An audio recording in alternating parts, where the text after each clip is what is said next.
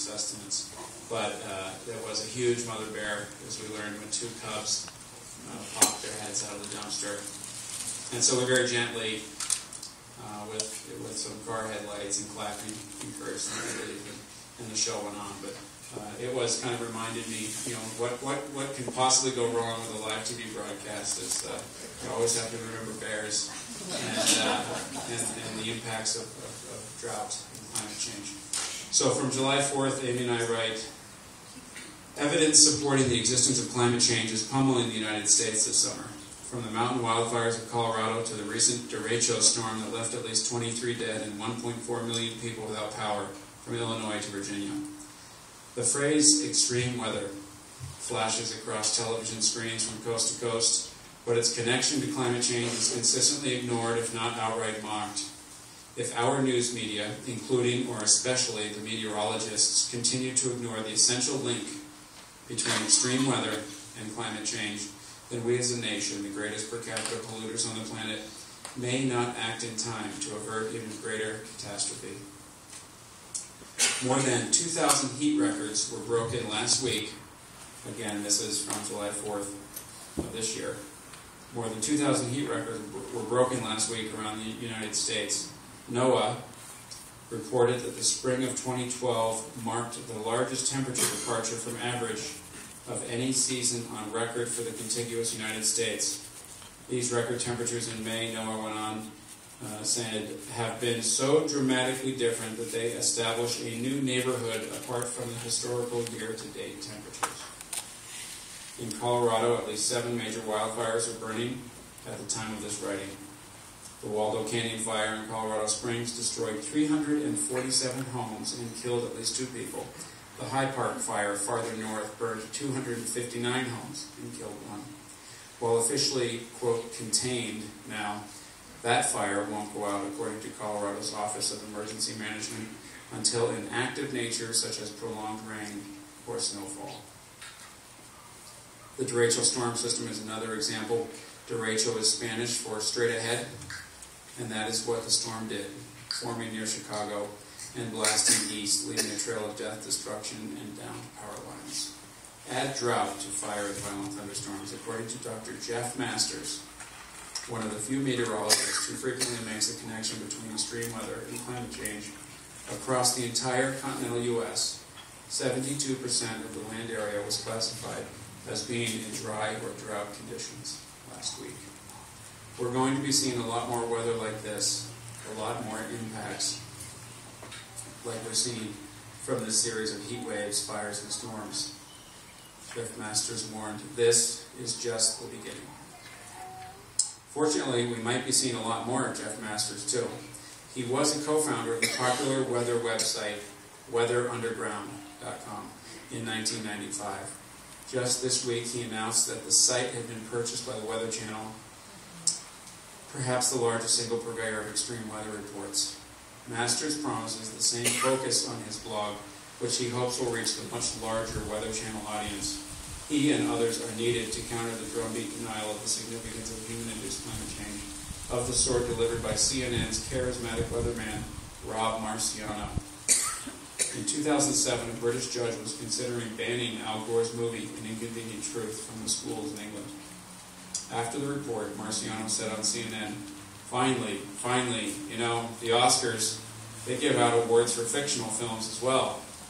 Global warming does not conclusively cause stronger hurricanes like we've seen. Masters responded to that characteristic clip by telling us on Democracy Now! Our TV meteorologists are missing a big opportunity here to educate and tell the population what is likely to happen. Beyond the borders of wealthy countries like the United States, in developing countries where most people in the world live, the impacts of climate change are much more deadly, from the growing desertification of Africa to the threats of rising sea levels and the submersion of small island nations. The U.S. news media have a critical role to play in educating the public about climate change. Imagine if just half the times that they flash extreme weather across our TV screens, they alternated with global warming. This Independence Day might be the beginning of a time when we, when we begin to wean ourselves off of fossil fuels and pursue a sane course towards sustainable energy independence. And that's one of 200 or so columns that are collected in this book. Um, it's published by a, a fine nonprofit publisher named Haymarket Books. Uh, it's from a union print shop, and it's in part because we had such a good team putting out the physical book uh, that we were able to stop the presses. Uh, Amy and I and some others went to uh, Basque country in July. Uh, uh, she was invited to speak at a commemoration of the bombing of the Basque town of Guernica, or Gernika, um, 75 years ago. And it's kind of to be immersed in the history of the A bomb here in Los Alamos, kind of the final big bombing of World War II, and to have been in July in Guernica, to have met survivors, to have seen the record uh, and what what happened, uh, what we learned was kind of an interesting kind of book in 1937 to 1945. But the the bombing of Gernika, as they call it in Basque Country, as most of you know, um, was conducted at the behest of the Spanish Nationalist Army, um, Franco, by the German Luftwaffe, and was in part practice.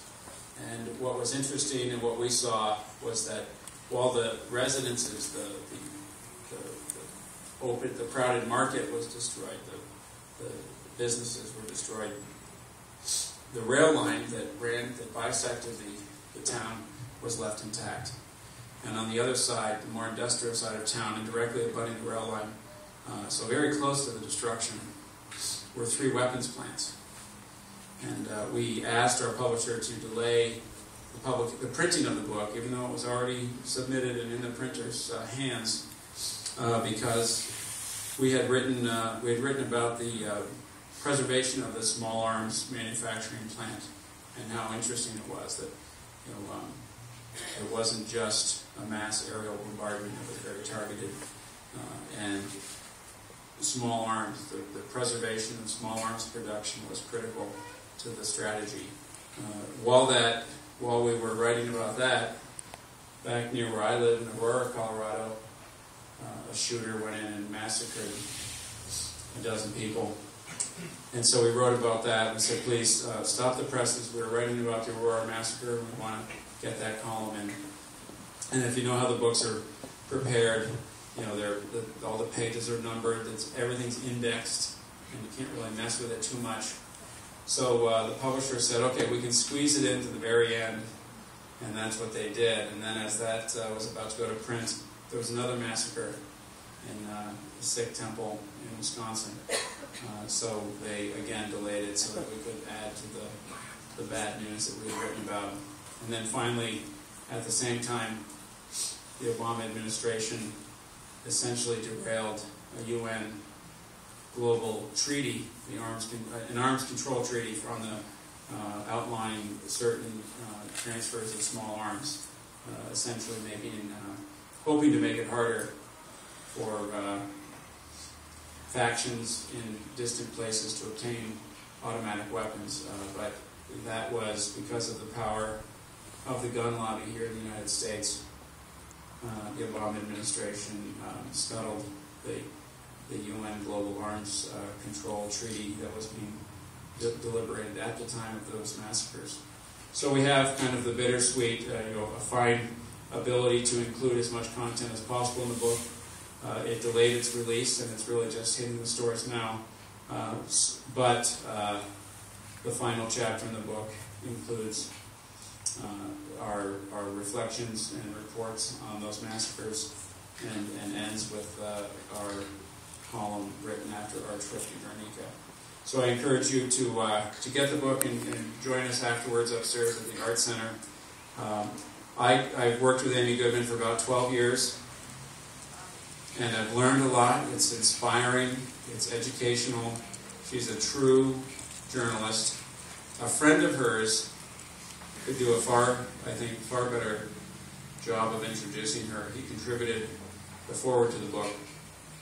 Um, and he describes the time they traveled together early in their careers.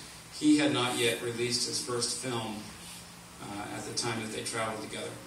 So this is a foreword written by Amy's friend Michael Moore, and I'll just share a brief part of it